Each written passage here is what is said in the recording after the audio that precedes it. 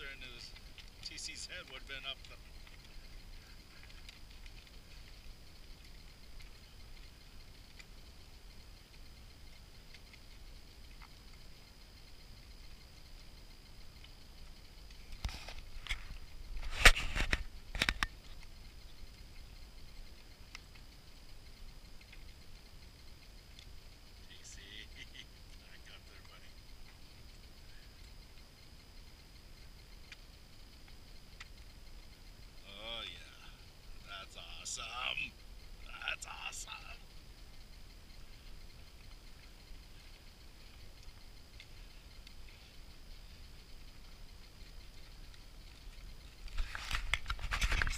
next one.